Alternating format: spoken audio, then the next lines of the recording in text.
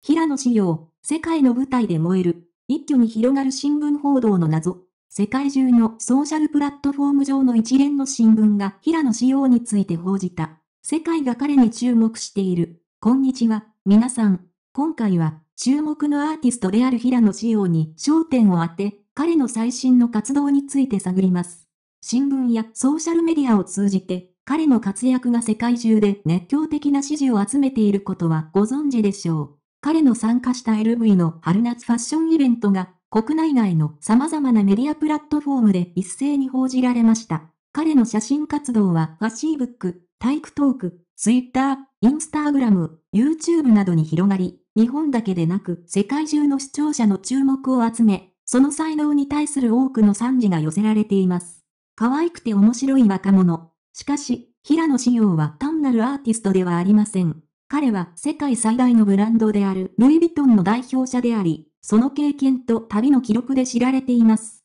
その結果、彼の歌唱力やダンスだけでなく、映画出演に対する賞賛も高まり、世界中で彼に対する愛が深まっています。フランスでの仕事を通じて、平野志陽は世界のエリートの場での経験を得ました。これは単なる仕事だけでなく、彼の人間関係を強化し、有名なアーティストとの交流の機会を提供しました。その結果、彼のプロフェッショナリズムと魅力的なパフォーマンスにより、国際的なラッパーとのコラボレーションや世界的なブランドとの協力が期待されています。さらに、彼の世界への足跡が彼のファッションセンスを向上させたことも無視できません。ファッショニスタとの交流を通じて、彼は新しいスタイルやトレンドを導入し、ファッション界で無視できない存在になりました。これが彼が国際的な友人の愛を集めた理由でもあります。最後に、平野志陽の輝きはこれからも続くでしょう。彼の仕事への情熱と個性的な魅力は、ますます多くの人々を引き寄せ、彼の才能がさらに開花することを期待しています。